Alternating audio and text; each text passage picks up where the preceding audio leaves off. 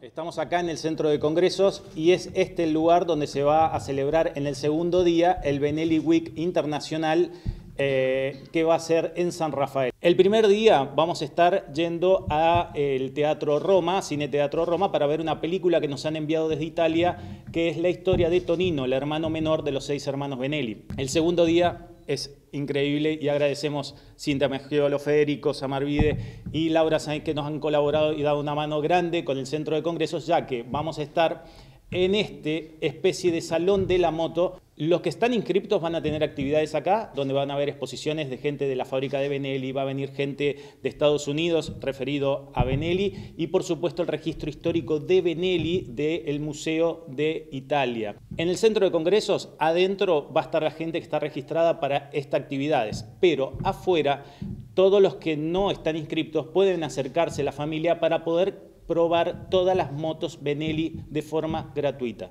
El día domingo es el día de turismo y vamos a ir a hacer el recorrido por el Cañón del Atuel. Hemos preparado cosas muy lindas al llegar después a Valle Grande, donde va a ser el punto de reunión. El día lunes, que es feriado, es el día más cultural porque vamos a estar todos conociendo el Museo Benelli de la calle El Toledano al 3000.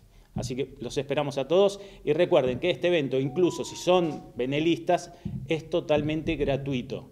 Así que estamos también haciendo un gran esfuerzo, acompañados con, eh, esta gente que nos ha dado una, mano tan fuerte que, bueno, eh, solamente agradecimiento por todos los que nos han estado colaborando. Está viniendo grupos muy fuertes, oficial de Benelli Paraguay, ellos vienen todos en motos, están recorriendo tres días para llegar a San Rafael, eh, está viniendo gente de Estados Unidos, que es un embajador que se llama Elia Nick, es una estrella de rock de allá, que es coleccionista y fanático de Benelli.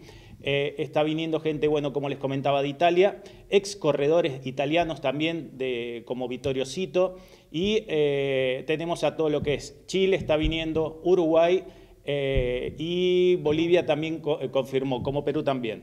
Lo que se van a encontrar dentro del centro de congresos va a estar muy bueno porque se van a encontrar todos los estanes de cada país mostrando lo que es la cultura de cada país en lo que se refiere a Benelli. Motos inscriptas ya hay 890. Para el día sábado, aquí en el centro de congresos y exposiciones, nos vamos a encontrar con el evento final donde vamos a estar en la charla con el señor Gustavo Morea, este especialista de MotoGP, periodista internacional.